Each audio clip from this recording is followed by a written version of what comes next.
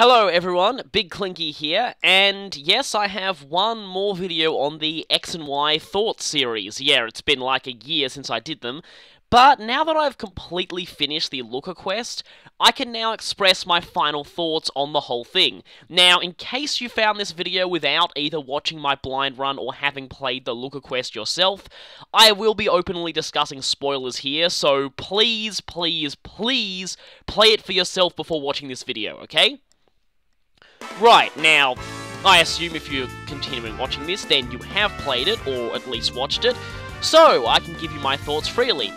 Now, overall, well, I've already said it, the Looker Quest has actually been one of my favourite things about X and Y, like, overall. And because of that, it feels a little disappointing that it was reduced just to a post-game quest. But first, I want to talk about some negatives, because nothing is perfect, and I like to get the negatives out of the way first. I have two major gripes with this whole thing. My first, Chapter 1 pretty much the whole thing. As you could probably tell from my reactions to it, Chapter 1 is very boring and really, really just not that great. And that's a bit of a problem, because when you're doing something like this, you really need to draw the players in. And if you have a bad Chapter 1, they're gonna think, oh, maybe the rest of it's gonna be this bad, and they won't want to keep continuing the quest, when it gets a lot better. And immediately, Chapter 2 had me hooked completely. But I just feel like some players might not even get there because Chapter 1 is just so dull.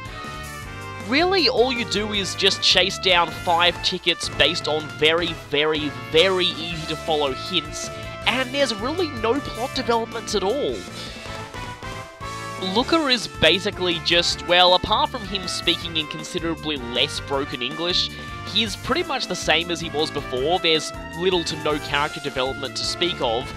And really, yeah, there's pretty much no plot. You just go around finding the tickets. Now, maybe they could have at least foreshadowed Emma somehow in this, or made you run into her occasionally a few times, but not fully knowing who she is at that point that might have better drawn players into her story, maybe.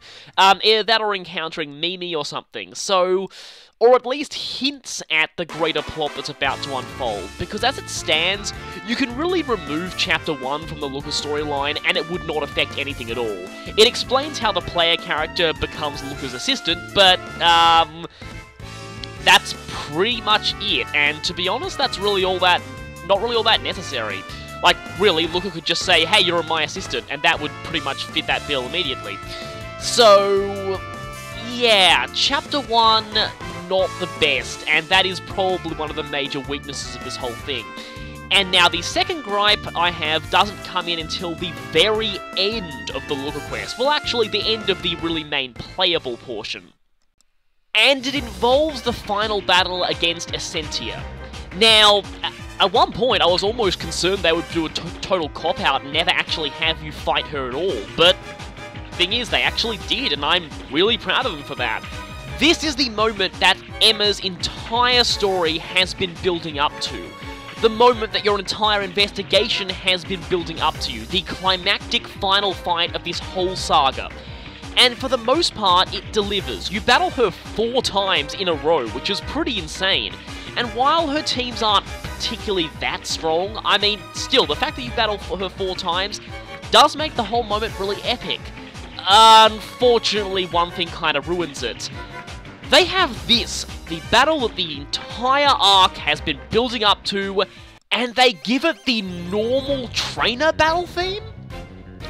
It might sound really weird to nitpick on this, but I really do believe that music is a very, very vital thing in games. The right music at the right time is really crucial to setting the right mood.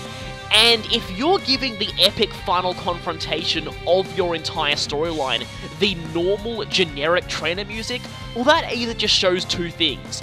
One, it makes it feel not nearly as epic as it should be, which is bad, and two, it it possibly indicates the developers or whoever was just making this part was just lazy in terms of music choice, and that's even worse.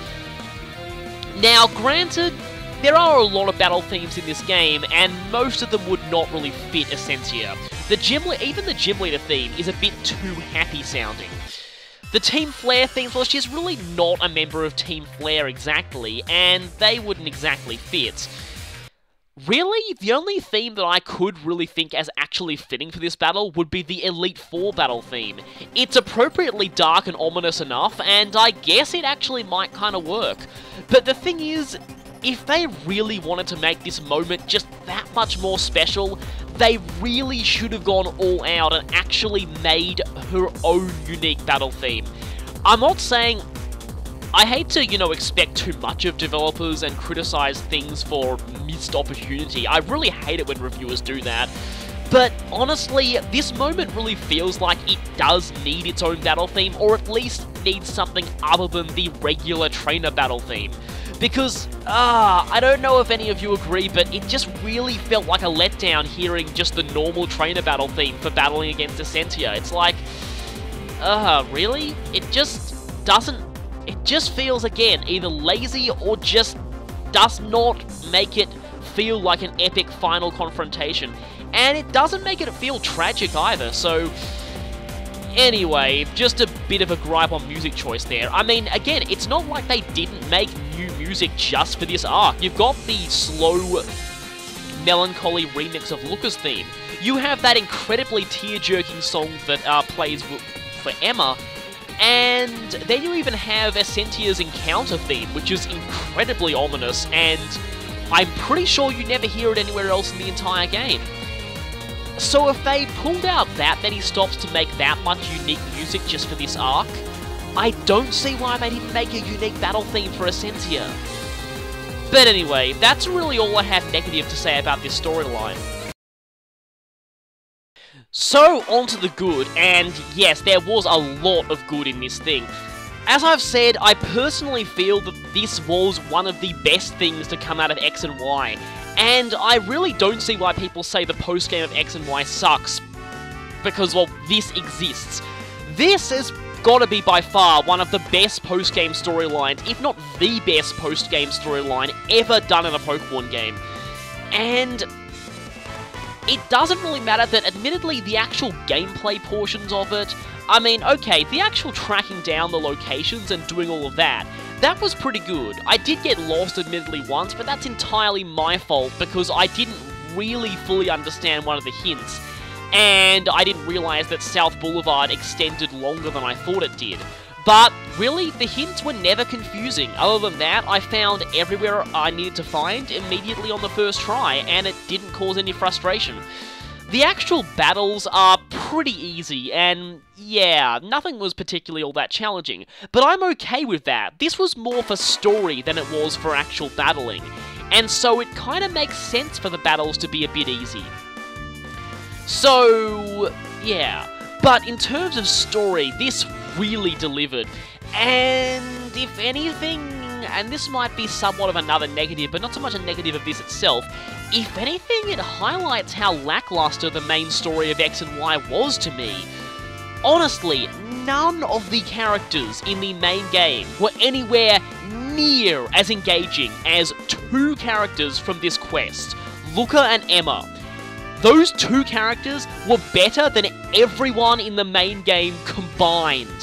And actually, that is sort of sad. This shows that, yep, the writers on um, on the staff of this game really can create interesting, engaging characters and genuinely good storylines. They just, for some reason, decided not to do them for the main story. But yeah, enough of on where the main story sort of failed and more on where this succeeded. And one thing that I thought was really interesting about this was Looker himself. Now, Looker's a bit of an interesting character. He was added to Platinum, he didn't appear in the original Diamond and Pearl, and he was basically a one-note comic relief character who, personally, I never really liked all that much. Even, um, yeah, considering the fact that he actually became kind of popular, considering that he did appear in the next games in black and white, and even there, he only served to introduce one post-game quest to you and prove that police in the Pokemon world aren't totally useless. But he never really felt like an engaging enough character that I thought, there's a reason he keeps appearing. I thought more, uh, yeah, why does this guy keep showing up? He's not really all that interesting. In this game, though, like, when I first heard there was a Looker subplot in X and Y, I was like, why are they milking this guy again? He wasn't really that interesting the first two times. And somehow they actually finally managed to make him an interesting character in his own right. Looker got some actual character development this time, and he actually proved to be really interesting. You get to see him take on a sort of fatherly role to Emma. You find out that he actually lost a Pokemon on a case in the past, which shows the Pokemon world is actually a lot more violent than most people think it is. And you also get to hear a lot about his actual philosophies and his approach to crime in the fact that you see him dealing with those punks, and he does believe that that no matter how bad, all criminals do have a chance to reform and become decent members of society. And then there's the fact that he would go far enough as to lie about being in hospital and would keep going despite serious injuries just for Emma. You really find out so much more about him in this game than you do in any of his prior appearances. And that actually feels a little bit strange. Like, you find out more about him than in his debut appearance, and I'd probably go as far as to say is this is the first game where I'd feel Looker as a character really debuts. In early games, he didn't really have much personnel. Well, not so much personnel, but I mean, he didn't really have much to him to speak of, really. But he had actual depth here, which, again, something I never really expected. And then we oh. have Emma, and I'm using her in her Essentia suit here because for some weird reason, there actually is no official art of Emma, like as in without her suit on. I don't know why, that doesn't really seem to make much sense. But anyway, Emma has got to be one of the best characters to come out of Pokemon since N, and you know what, I actually think she's probably better than N as a character. And that is really saying something. Ah, oh, I mean, Emma slash Essentia, she really showed me that the Pokemon writers could make good characters again after Black and White, after being sorely disappointed by the main storyline characters of X and Y. There's just so much to her that's just so interesting. And she is, like, flawed realistically. She's flawed to the point where she's still likable, and it's kind of interesting that she's one of the few characters who blatantly falls for villain schemes who I can actually still respect because she has a legitimate reason for being so naive about them, in that she's grown up on the streets all her life and doesn't really know much about mainstream society. So, yeah, she sees an ad for part time work and she goes for it. She has no idea that uh, they could just be trying to abuse her, really. As you go through the quest, you do get pretty attached to her. You learn a lot about her history and her motivations and the like, and her goals, and you see her as she develops relationships with Looker and eventually Xerosic, which I thought was actually really interesting. Like, on the one hand, you could sort of call it Stockholm Syndrome, but on the other hand, it is fairly clear that she had no idea what Xerosic was doing to her, and to her, really, he was just another person who sort of showed kindness to her, considering she had no idea what she was really doing because she was effectively in a coma every time that she was forced to commit crimes. And then, yeah, that whole story arc. I guess I should say, the whole expansion suit thing, that was such an amazing concept, and I really would be very disappointed if they did not actually use that in a future game in the series, because that there was so much potential on that, and so many of those logs that you could read that just explain you to you so much about how the technology works. And it does some really interesting things, like actually being able to hack into Pokeballs to control Pokemon. I mean, there have been hints on how Pokeballs work and the like. I guess at the very least, this here confirms that while it's possible for Pokeballs to kind of brainwash Pokemon into doing whatever their owner wants, that's not the default setting for them. Which does mean that, yeah, uh, Team Plasma wasn't entirely right when they said that Pokeballs were completely mind-controlled devices, and they're completely unethical yes, this shows that yeah, like Pokeballs can do that, but you have to unauth um you have to do an unauthorized hack on them in order to actually have that work. So that's kind of interesting, and it explores the way the technology in the Pokemon world works. And then the fact that, um, that, yeah, Emma is able to use the suit for good afterwards, and it's implied that she'll become some kind of crime fighter on her own, Seriously, there is just so much to that story that really deserves to be expanded on in the future, and it almost feels like they are kind of planning on making some kind of sequel, because, seriously, it would be a real waste for them not to continue that plot. The only thing about Emma is, I, I don't know if, I probably wasn't the only one who actually wanted Looker to officially adopt her. I don't know, I just felt it, it felt a bit cruel that he had to leave in the end, and I guess that's sort of the point, but yeah, that was sort of kind of sad to me. But anyway, that's really all I can say about that. And then we have possibly the most controversial character in the Looker side quest from the kind of things I've read about him now, Dr. Xerosic. One of the Team Flare scientists in the main story, you only really meet him once, battle him once, and then he tricks you into activating the ultimate weapon for science! And then you never see him again. Until this quest, that is, where you find out that Looker's been pursuing him for quite some time.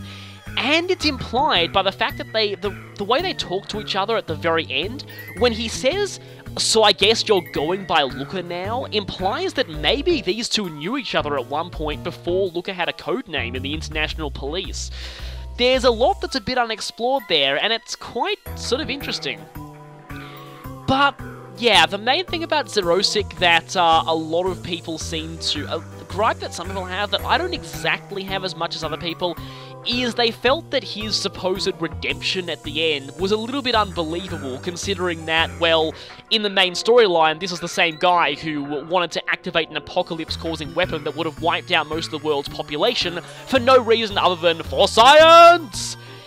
Yeah, some people find it very hard to believe that a character like that is actually redeemable, and honestly, personally where I fall on this, the Xerosic that you see purely in the Looker side quest, he does feel somewhat believably redeemable.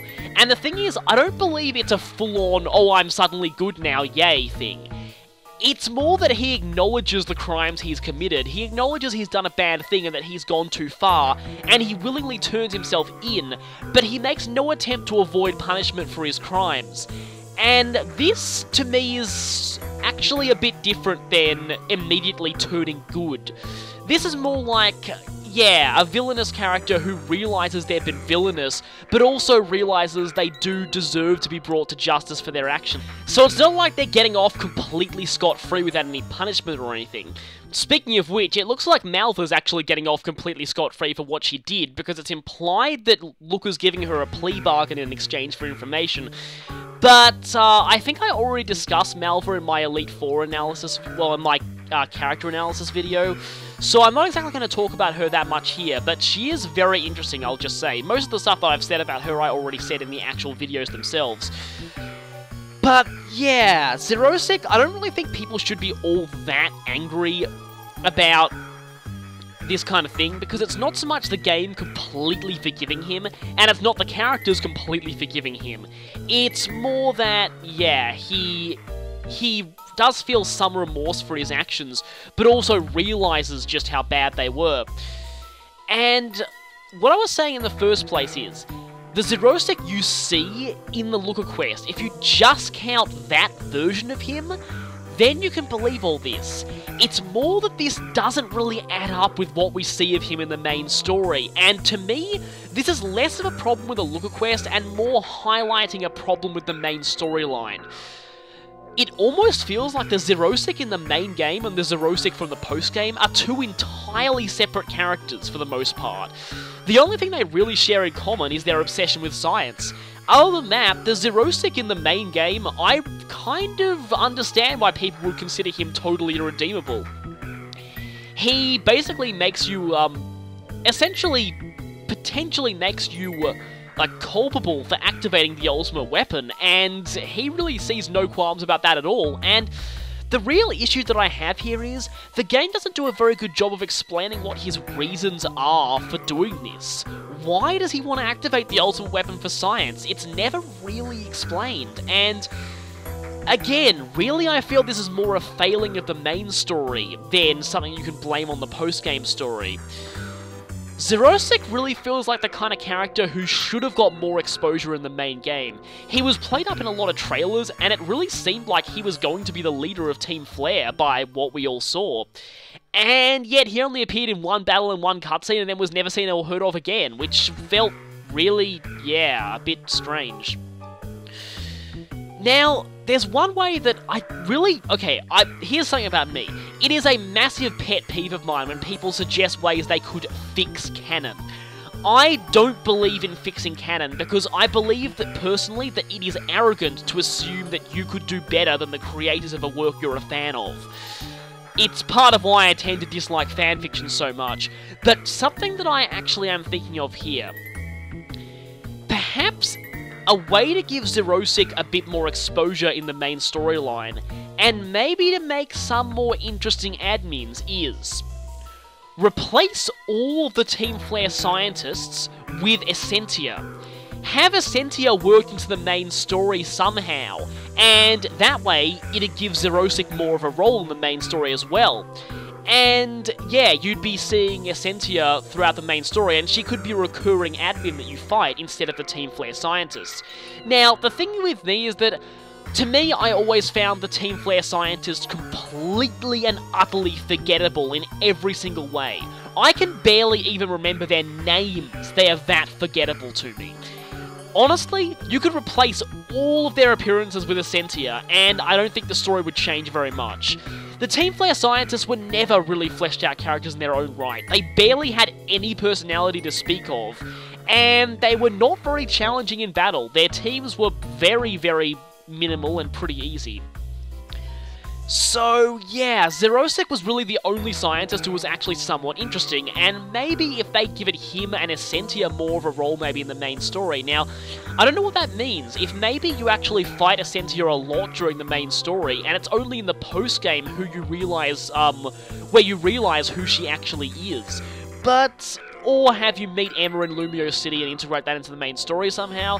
I don't know, but the interesting thing is, the Pokemon Adventures manga actually seems to be doing this. In the manga, Essentia is actually fought alongside Team Flare during the main during the manga's adaptation of the main story plot. And yeah, maybe that would have worked better in the games. I don't know. Back to the whole Xerosic plot, one thing that I found very interesting plot-wise is that they kind of subverted the whole cliche of someone, you know, we all love has been brainwashed. Hey, let's all just say encouraging things. You can do it, and eventually her mind will snap out of it on her own through the power of friendship. They actually subverted that in the fact that that sort of works, but not quite, and in fact it seems to be making things worse.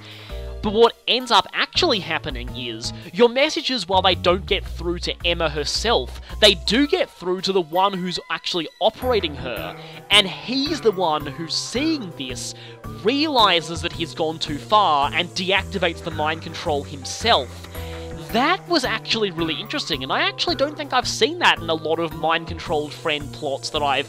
And believe me, the mind-controlled friend plot is something that happens a lot, and I've seen an awful lot in my time. So it was kind of interesting to see it twisted like that. One more thing with Xerosic I guess I'll mention here. There are some people who've said that the fact that he has a Crobat, which is a Pokemon that evolves through happiness, foreshadows the fact that he's not completely irredeemable, and I guess that sort of makes sense considering that Maxie and Archie also had Crobats, and they were some of the more, well, at least, um, they're, to this date, the only evil team leaders who actually show remorse for their actions, and kind of like Xerosic did. The part where this analogy kind of starts to lose it, though, is Cyrus had a Crobat. And, well, Cyrus really doesn't show any signs of being redeemable at all, so that kind of feels a little bit weird. Not to mention that the Crobat is apparently completely contrary to his philosophy entirely, and it really almost makes no sense for him to actually have a Pokemon that evolves through happiness, so that is where it kind of falls apart a little bit. But I do see what they were going for. I do love the fact that he has a Malamar, and that the fact that that foreshadows his involvement in a mind control plot. That was really interesting. So, uh, yeah, that's that's one cool thing about his team at least. So, yeah, overall, those would be my thoughts on the whole Looker, Looker plot. And yeah, overall, they're very, very positive. I still feel this is one of the best storylines to come out of Pokemon lately, and it just feels so weird they'd save it for a post-game plot when the main plot was really, really underwhelming in terms of story. It does feel a bit weird, like the fact that I actually enjoyed this so much more than I enjoyed the main story. It, yeah, there's just something a little wrong about that, but that's not to say that, yeah, this is still a very good plot and we should appreciate that. So I've already gone on for long enough, I guess, so that's basically it. And that probably is it for my X and Y um, thoughts and opinions video series. Um, so I've, yeah, given definitely a lot of um, consideration to it, and yeah, I have a lot to say about this game. Unfortunately, most of it's not entirely positive, but, um, but anyway, I guess that'll be it. So, this is Big Klingy, and I guess I'll see you all next time.